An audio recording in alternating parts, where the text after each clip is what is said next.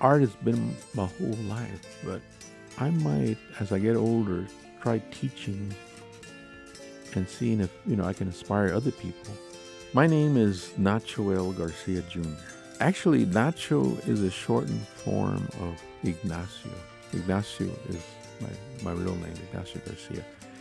But people tend to make nicknames like Bob to Robert, and so they started calling me Nacho. So I started signing my drawings with Nacho. Garcia Jr. I was born and raised in El Paso, Texas. In fact, I was born at Hotel Dieu Hospital, which doesn't exist anymore. Tore the building down. My dad uh, was a World War II veteran. He uh, he was in the uh, a waist gunner on the B-17, the Flying Fortress, and right after World War II, he came home, and he joined the police force, and he he turned to the police force because he he comes from a background of uh, law enforcement. His father was the police, his grandfather, and uh, so he it was like an easy thing to turn to because that, that was in his family. And then then my my mom was uh, was an artist and photographer, and uh, she helped run the Achilles studio during World War II when Achilles Gonzalez was in, in the war. And then when I started to come along, she gave up all that art and photography and start, just became a housewife and raised five kids. Okay, my wife uh, was a Bel Air graduate, born and raised here in El Paso. And uh, she was a, for a short time, she was a teacher's aide and then got into merchandising. And then uh, again became a housewife. We have a son and a daughter that we raised. Uh, well, I went to grade schools here, Clardy, Henderson, and I went to Burgess High, graduated. And then I went to UTEP the first year I went, it was Texas Western in 65, 66. The next year, after they won the NCAA, Texas Western became UTEP. And then I continued and finished and graduated in 71 with a BA, Bachelor of Fine Arts. I've always liked to draw since I was a little little boy. My mom, being an artist, uh, gave me little hints and stuff like that.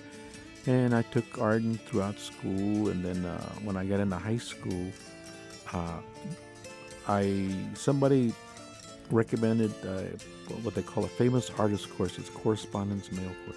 I took that. It's a three-year course, associate's degree in commercial illustration. Along, and then I got I went ahead and got my bachelor of fine arts at UTEP. But I picked up art, actually doing the art, drawing stuff like that, since I was a little small. Uh, I while going to UTEP part time, I used to go downtown and there was a department store where I did advertising layout, pencil layouts.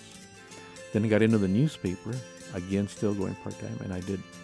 At that time, there were no computers, so everything was pencil layout, keyed in, typed, and copy was set by a composing room. And we had proofs that we sh- would show to customers.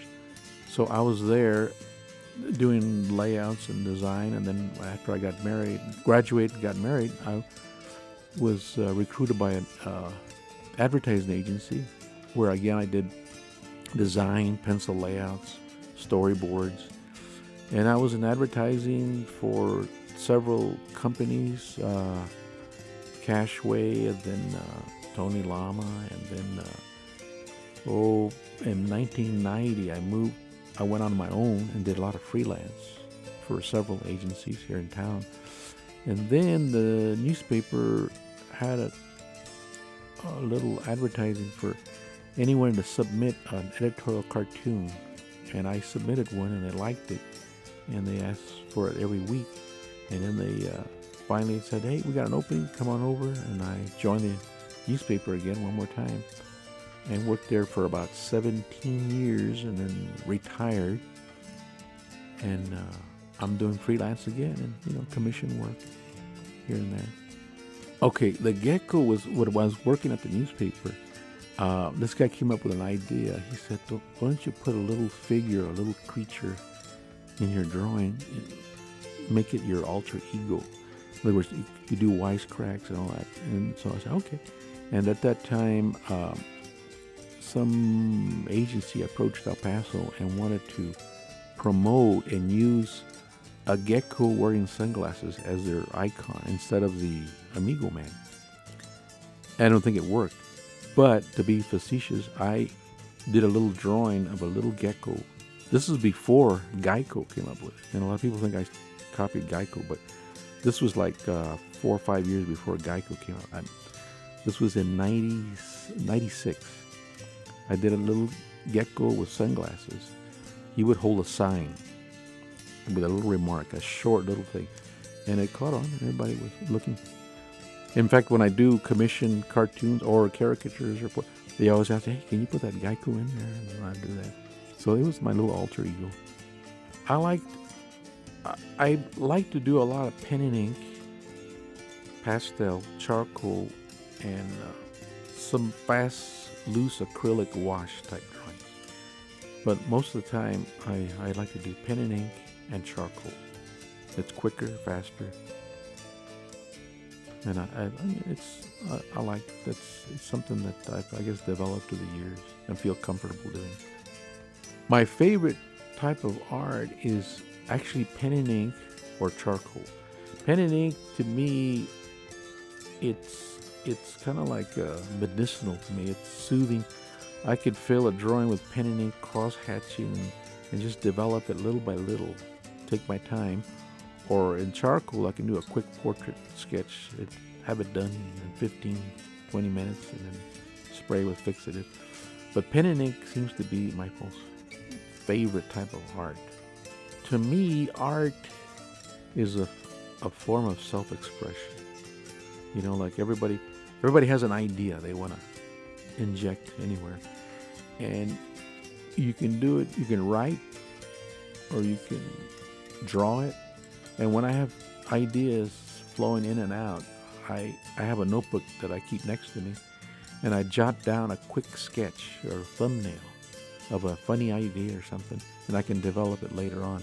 Because you know ideas are fleeting they go in and out and if you don't write down at that moment you'll forget it and to me I have notebooks with little thumbnails and doodles that I can develop later on as a drawing or something and that helps I've been inspired by, well, the famous artists Goya, Daumier, Velasquez.